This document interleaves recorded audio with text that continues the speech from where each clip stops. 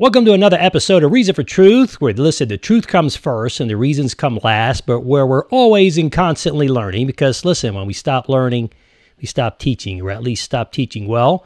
Today's truth is simply that anxiety is real. It's physical, it's physiological, it's spiritual. But listen, God's bigger and He's going to help us, and God's raised up an army, but some very special people in this world to help overcome.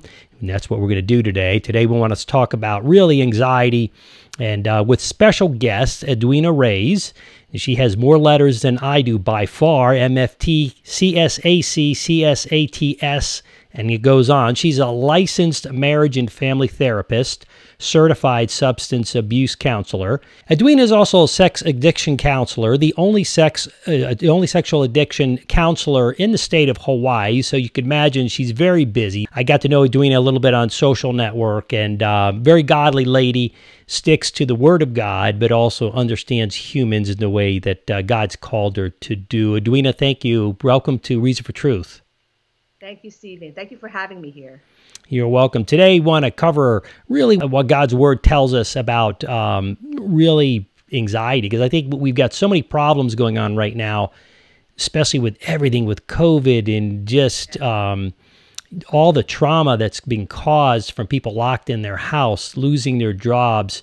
I know as well you're a drug counselor and um, and a certified e- EMDR therapist. So with Life Consulting Inc. And I, and I and I know that at the end of the day, the numbers for addiction on, on drugs, you know, are way up. So, but I want to jump right in here. I have a number of questions that I want to relate them to anxiety, and then see what God's Word as well has to say. But uh, Edwina, where what's the core? Where does anxiety come from to begin with? Um, that's a really good uh, question, um, Stephen. A lot of times people actually get this part confused, but anxiety actually um, is something that can be very uh, it can come from actually multiple um, sources you know uh, hereditary that's what i notice a lot. Hmm. uh, stress ongoing chronic stress especially. Um, trauma sometimes people have um, or ptsd sometimes people are raised already in very um, abusive very violent households. Um, and sometimes after that, they have other events in their life that occur, and uh, stress is something that compounds. Trauma is something that also compounds as well too it's just as time goes on, as the person gets older, it just worsens their state as well too, and, the, and their ability and the ways to cope. Um, substance abuse addictions as well too. Addictions in general is is a, a huge factor as well too into anxiety. And you know, overall, you know, being a Christian as well too, Stephen. Honestly, it's really a sin nature as well too. It's the hmm. brokenness of man for the beginning of time. You know, hmm. and so so for the beginning of time already, we already start to be broken, and uh, anxiety is just a manifestation of that, really. No, that's a great answer, man. I, I, I, it never ceases to amaze me every time I watch your videos. It, and, and I don't say this that often. I really mean that. I always learn something. Uh, I mean, you said a few things there. I had no idea that anxiety was really um, had anything to do with genetics. I mean, my my father had heart disease, and you know the doctor yeah. I went to see a cardiologist the other day, and he said, "Listen, you know, at the end of the day, you picked a bad dad." He's not criticizing my dad, but it's hereditary, is what he's saying. You know, so it is what it is. But I had no idea. Uh, but yeah. that's a great. It's great uh, to understand. I think it kind of helps us better, and perhaps how we'll treat it. But let me ask this question: What's the difference between worry, common worry, and anxiety? Good. Very good. So yes, a lot of people think it's actually one and the same, but there's actually a actually quite a bit of a difference between the two, you know. And so um, worry is something that's definitely more cognitive, right? It, it's it's more hmm. in the way an individual process through some process through a problem or issue or a stressful event.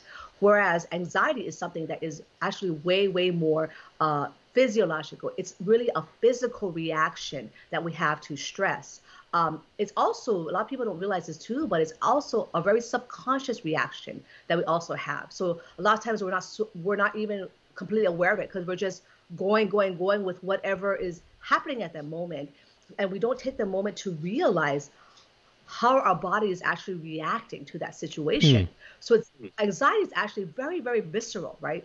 And when when I learned this being a trauma expert myself, that trauma in itself actually affects every single cell of your body. Wow. Right? With a traumatic event, right? It is really mm-hmm. your whole body. And so when you think of anxiety, anxiety being visceral, being physiological, it is the same thing too. We feel it through our whole bodies as well too when we go through anxiety, which is why over time, when someone has anxiety that is not controlled, uncontrolled, after some time, and if the person is chronically in that state, uh, it leads eventually to panic attacks and then chronic panic attacks, which is oftentimes, unfortunately, when someone starts to seek out help. Wow. You said something again that stuck with me. I didn't tell the whole story. Yes. My other episodes have. So, my father passed when I was five. Leaving my mom with my sister was uh, about a week old. They were just home from the hospital, and my mom is now stuck out of the blue raising four children. And she ended up uh, contracting leukemia three years later. And she said growing up, she always said, and to this day she says that because she was cured by God's grace, different story. But she said it was really the stress and the anxiety of just all of a sudden being thrown, you know, all of a sudden you're going, you got four kids, you're living three and a half hours from your parents, and you've got to, and they were in New York City, we were in Washington, D.C. area in Maryland. And, uh, but I can see that anxiety, you know, I, I like what you said in terms of worry. Worry seems to be a temporal thing. We worry when, uh, oh no, hold on a second, that I put the garage door down. Anxiety, like you said, is more, seems to be more deep seated. I think about King David, you know, being, you know, he probably had times of worry, but when you're being chased up and down the mountains, I think that's a little bit more in line with anxiety because you can't really even get that good of sleep with one eye open and uh, knowing, wondering if your job's going to fall from one level, you know, when the shoe's going to fall. And uh, today's world is very uncertain. But interesting. I appreciate that answer. Let me ask this question. What does scripture say about anxiety? There's a lot of scriptures. I'm not going to go into them, but I want to hear your perspective because you are a, a, very accomplished and very good counselor, but you're also a Christian. So, what does the Bible, what does the scripture say about anxiety? I'm also, Stephen, very, very practical in nature, you know, and I, and I try to simplify things for a lot of people so they can st- understand, especially if you're a new believer, a new Christian. Mm. And so, in the most simplest form, when I talk to my own patients about about um, anxiety, um, I really reference back um, into the New Testament a lot, especially Jesus' words and Paul's words, Apostle Paul's words as well too. And what do they say about it? And so, you know, um, Matthew 6, you know, the Sermon on the Mount, uh, where Jesus talks about, you know, therefore, do not worry about tomorrow, for tomorrow will worry about itself. You know, today has enough trouble of its own. Hmm. You know, that's a famous one that a lot of us uh, are aware of. And you know, and in, in that scripture, when we look at those that that passage area or that kind of like that that theme of Matthew six, we can kind of see and know that God takes care of us, right? Mm. He takes care of everything that surrounds us and and there's a reassurance in that when jesus says like hey look I, it's almost like i've got you right? Like i've got i've got the lilies of the field. I've got the birds in the air right? Why do you not think that i'm not going to take care of you right? So basically that's what he's really saying. And so and i love it because you know the more i learn about mental health the more i realize how much jesus' words are actually so true. And in this anxiety you know the scripture about worry um, um, what's so fundamental about it is is is this particular passage of Matthew 6 34 that I just kind of recited over here um, really goes to to help people to understand that you got to just focus in the here and now mm. in the moment. Don't think about the past. Don't think about the future. Just take care mm. of what is or just focus on what's in the here and now right? And what's in the present moment right? And that's jesus's words and when you look at psychology and what's being taught now in the world, that's what they say, right? Mindfulness, being grounded, being here in the moment. Um, another scripture, folks in reference, uh, Apostle Paul, one of my very favorites, Philippians 4 6, he says, uh, Do not be anxious about anything, but in every situation, by prayer and petition, with thanksgiving, present your request to God. And in that, you know, for me, when I read that, and what Apostle Paul is saying mm. really is like, again, you know, you're worried or you're anxious or you're stressed, you know, take that before the Lord. Let Him kind of help you with that. And so that's just a few scriptures. And again, these are popular scriptures, but they really help someone who is battling with anxiety. Yeah, excellent. Yeah, I remember to go on with the story.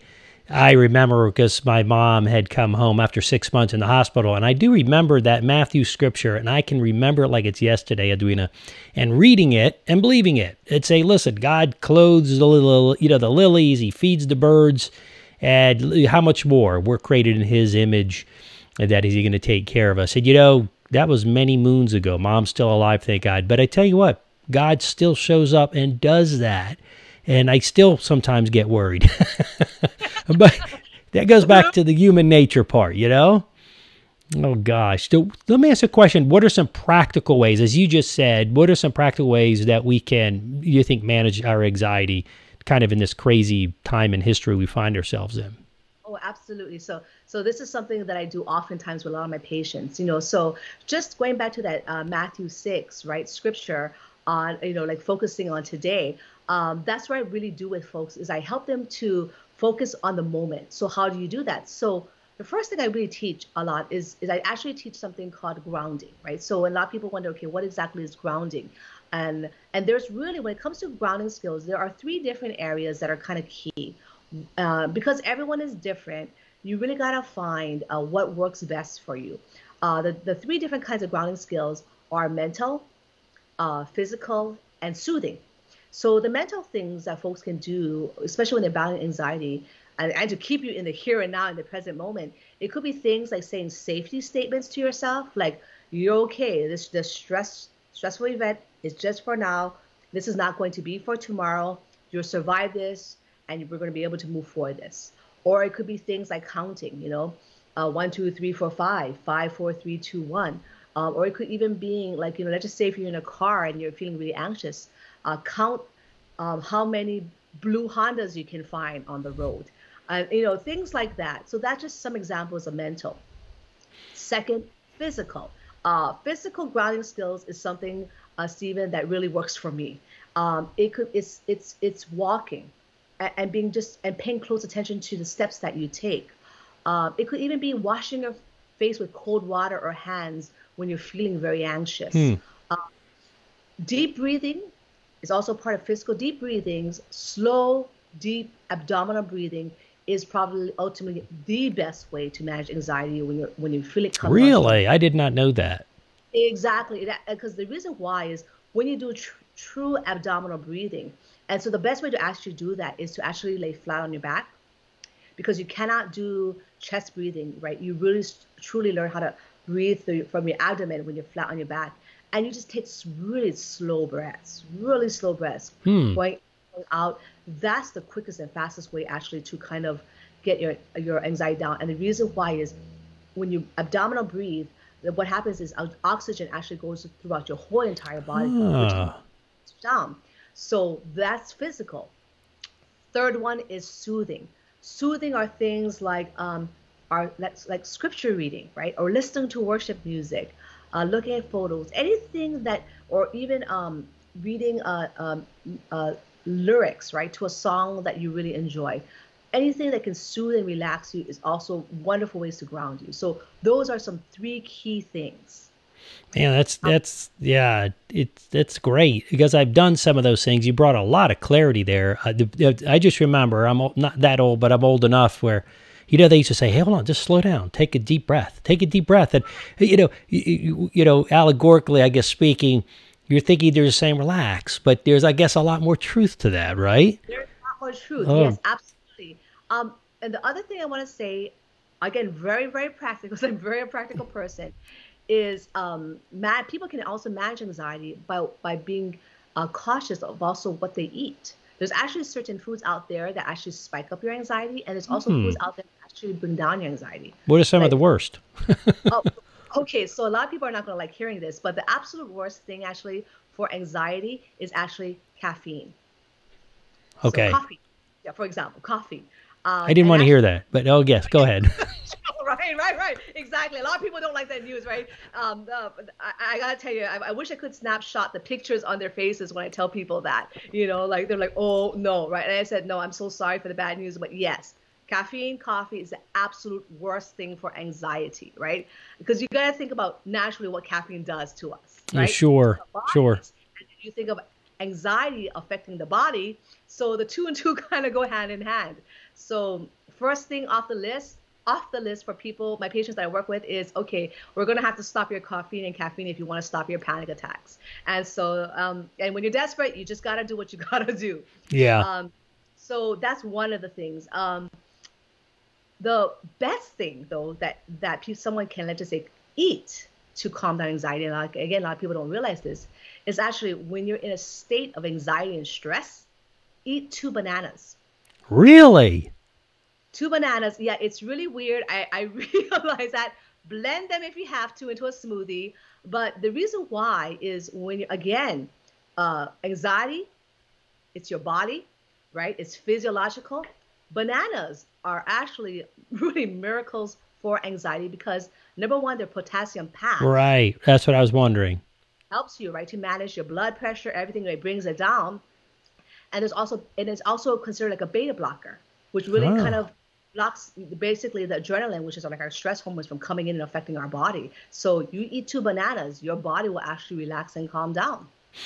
That's that's absolutely amazing. We we when we I've been scuba diving since I was 13, and you know we take it for cramps, and yes. you, you know and but I, I, was listening to one of your other programs on insomnia, and you you taught me something I thought was really revolutionary uh, for me, which is uh, tight muscles create insomnia and I, I thought insomnia created tight muscles. That's what it was. and so, yeah, so you know, because I couldn't figure out. There's been a couple times where I I work out at the gym, and and I'll, you know sometimes I'll be really um, sore, and I'll get up in the middle of the night if I have to. I'll take just one to leave, and I, I, go to sleep, and I'm like, man, I slept like a baby. I don't want to get up in the morning. I'm all relaxed, and I'm like, how did that happen?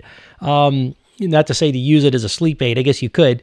Uh, but, but having said that, I like what you said earlier in terms of uh, so I do have coffee in the morning, a big cup, and then I have a cup of decaf, and then oh, by yeah. about ten o'clock, and then I'm done. But what I do do, to be honest with you, is I go to the gym in the afternoon, and I tell you what, it drains the sugars, it takes all that out, and um, and then so I'm not as fast when I come back, but then I I tell my uh, my you know I tell everyone I work at human speeds, you know, and but I think without that you're right. You're just putting sugar, you're putting caffeine in your body. You have to really balance that out. If you got to do something, or you're going to end up with greater problems. But appreciate that. Does having anxiety mean that we you know, do you think that we don't trust God? Do you think it's lack of faith or we aren't reading or praying enough, reading the Bible?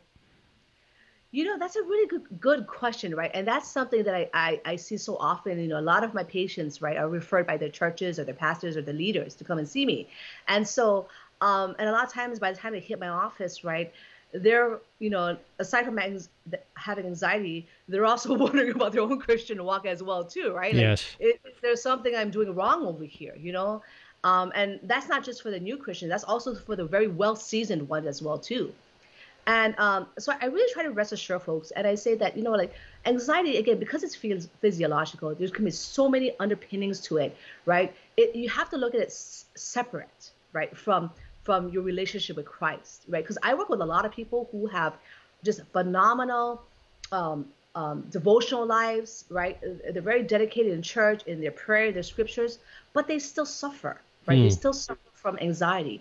Um, it, you got to look at the two things very differently and so and you gotta almost like treat it differently as well too mm. but what happens sometimes with uh, uh, i think uh, church uh, leaders or pastors what happens is they kind of combine it all and they kind of see it as okay if if you're still if you're still having anxiety that means that you're not praying enough you're not reading enough you're mm. not putting enough into your devotional life but when what but they're not looking at the other again like we talked in the very beginning right uh, where does anxiety come from right right I mean, that kind of the magical question. If it's something that's hereditary or if it comes from, let's just say if there's a woman and she was sexually abused growing up for, let's just say, majority of her childhood life, right?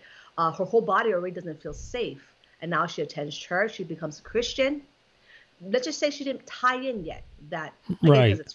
let's just say she didn't tie in her anxiety with the sexual abuse. She goes to church, she prays, she still feels a lot of anxiety because her body is already accustomed to not feeling safe then the pastor might tell her, "What is wrong with you?" Right? Like, like you're not reading enough. She's like, "I am reading." You know, again because there's a different situation there that has to be addressed, right? Right. Sure. And it, and it, maybe she is going to like the the deliverance prayers, deliverance or seeing the deliverance team at church. um, you know, taking sometimes those cleansing classes, uh, generational iniquities, breaking those sins of the past, but still struggling because it's not just that work alone that has to be done. There's other things as well too. No, sure. Realize too that you can't just target only one area and expect freedom and victory when you're really looking at wellness and wholeness as a whole, you got to look at all the areas, right? Your physical, your mental, your emotional, your spiritual. You really cannot neglect one or the other. You got to pay attention to all. So, uh, trusting God, believing God, loving God, uh, and your Christian walk and anxiety, you got to look at the two different. Amen. That's a great answer because I think a lot of people struggle with that. You know, they go to church, they hear, hey, just you know, listen, you give it over to God. Did you pick it back up? And it's you know, it's not faith. And I mean, there's some truth to that. But by the same token, I think it'd be helpful for us to implement exactly those areas and to be more effective in our spiritual life to understand that we are made physical, physiological, and mm-hmm. psychological, and, and to help with those things, ground all that in Scripture. It's a great great thing. I appreciate that. Let me ask you a question, Edwina. Is it wrong for a Christian to see a psychologist? Do you think a medical, you know, like a medical doctor, or is it wrong for a Christian to turn to psychiatric, you think, medications uh, for relief of symptoms and, and anxiety?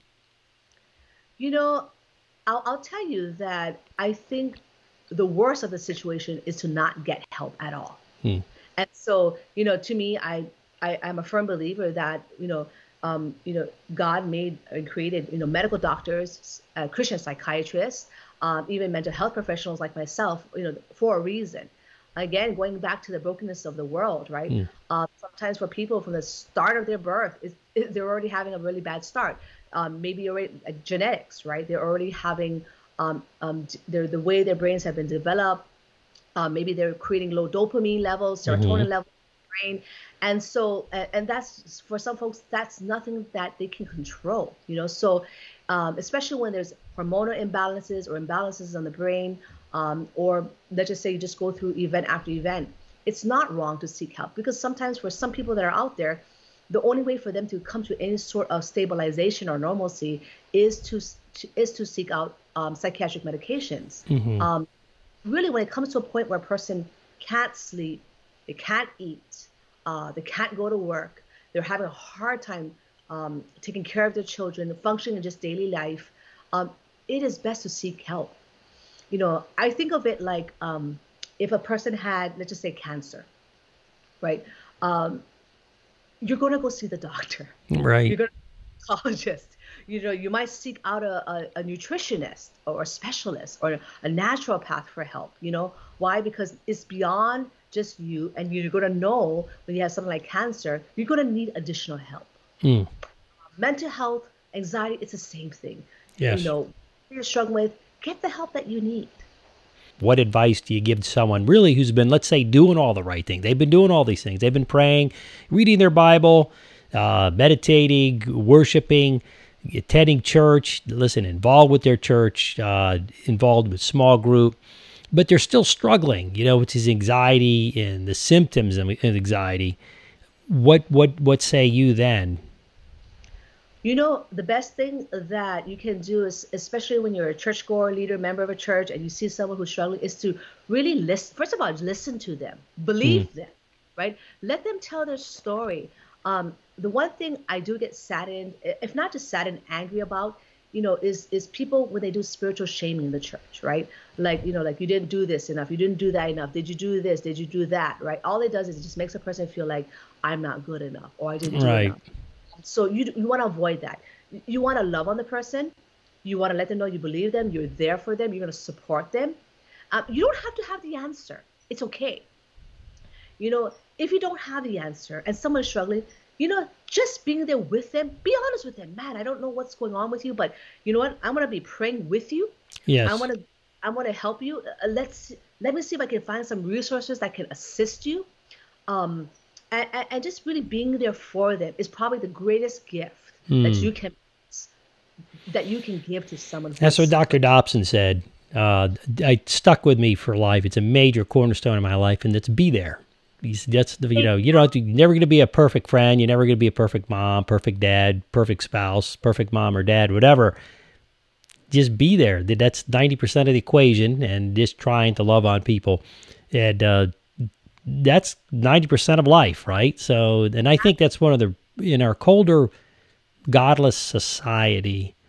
I think that's one of the reasons why we're having so many issues we do is because, as my mother would say, we have the blind leading the blind. You have people with major hurts, right, that are that are perpetuating this, and you know they don't, and that's why when you, we were talking earlier before we started of situation, and as much as somebody may make you angry, and you can see major dysfunction, like major dysfunction, you kind of have to pity them from the perspective that they just don't have what it takes to be good, and you know I come from the old school a little bit, where at some point, you know, you give them the truth, and you hope to so, you know yeah, I tell my kids that all the time. It hurts me, as my mom said, it hurts me more than you to discipline you. But I'm going to give it to you because you need to get it. By the same token, you know, you don't want to exacerbate your child or you don't want to you don't want to break their spirit to the point unless it's a really bad spirit. But but you know, you want you want to you want to help along. Be patient be patient. Uh, you know, I just wrote uh, one of my third book was um, uh,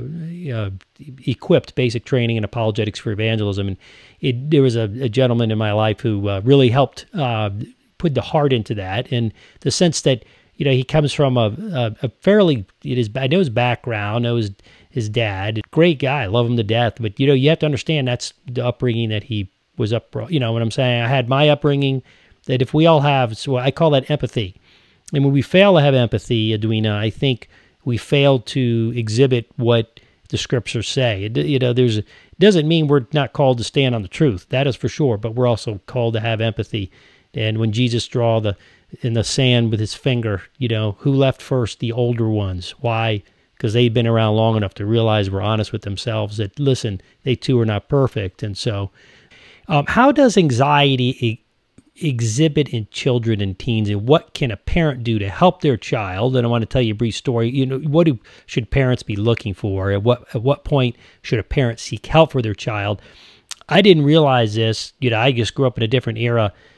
I never saw anxiety and i think the world was a different place in great part from that. But i went on a retreat maybe 300 middle and high schoolers and at any given time there was anywhere from two to five and they told me that any given time, there's two to five kids back here having panic attacks. And I'm thinking, I don't, I don't like, why? It was very opening, eye opening for me. And I think we probably had duress when I was there, but I think the world just seems to be a whole level of stress, Edwina. But how does anxiety, again, exhibit itself, and especially in our teens and our children? Um, even younger than and how you know what can a parent do to help their child and what they should be what should they be looking out for in their child? Uh, this is a part that is uh, a little bit scary and a little bit tricky, so I'm going to do my best to answer this.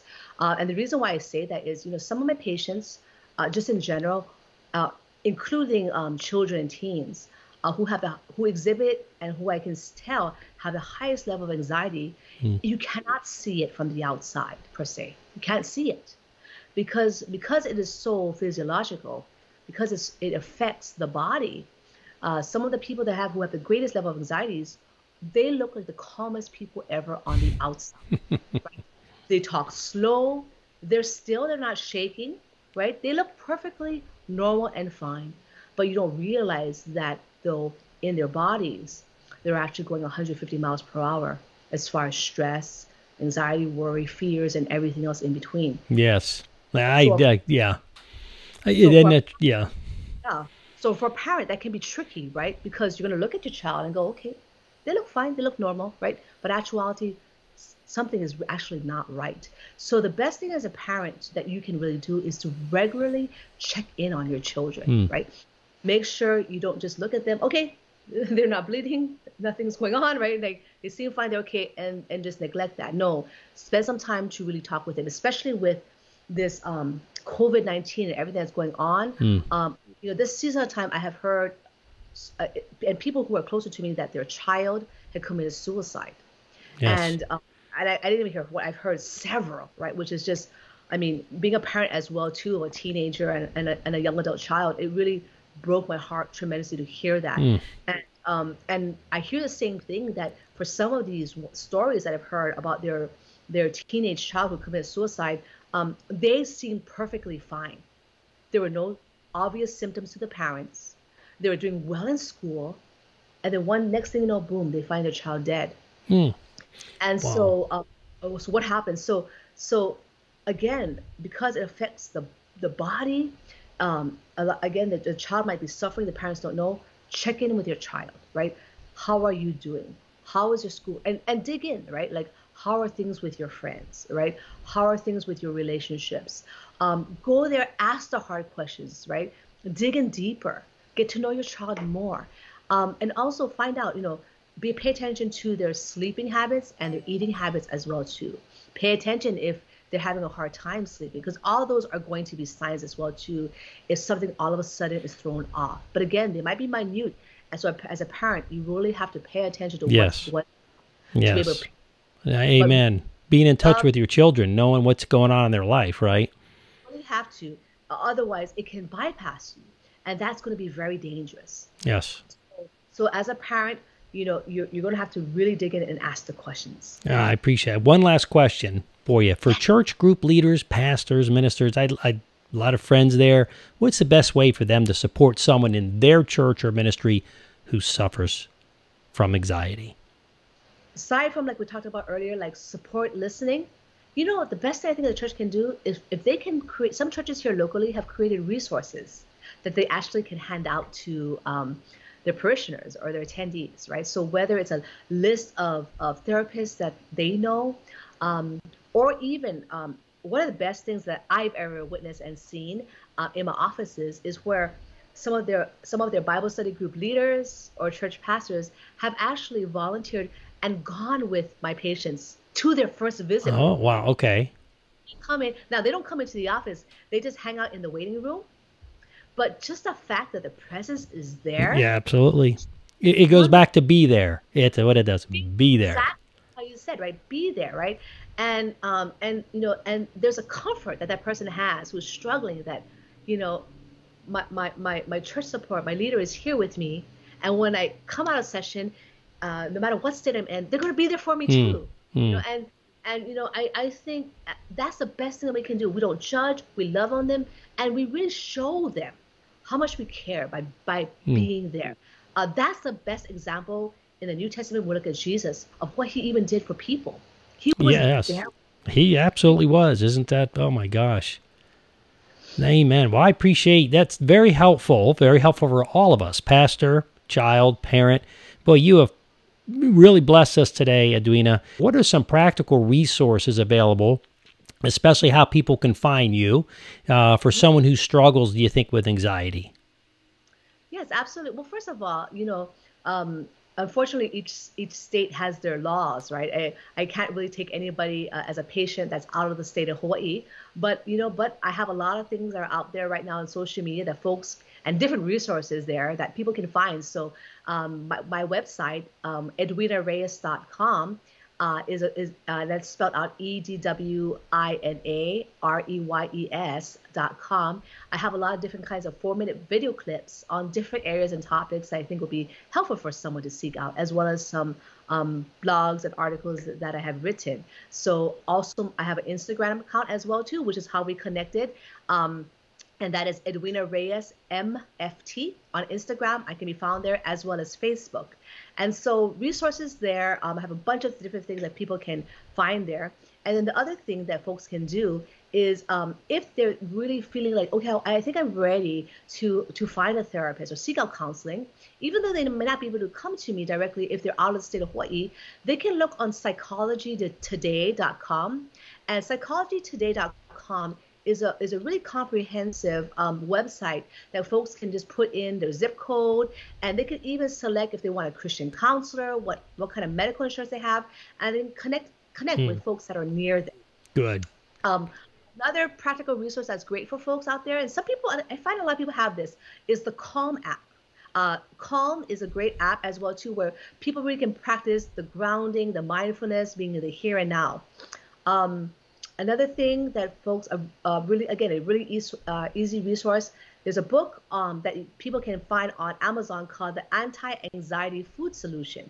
Um, so again if they're thinking about okay what do i eat? You know like how do i better my diet uh, so i can better my moods? Um, uh, that's a great resource right there. So anti-anxiety food solution by trudy scott. Um, so and she talks about coffee and caffeine in there Yes. as well too.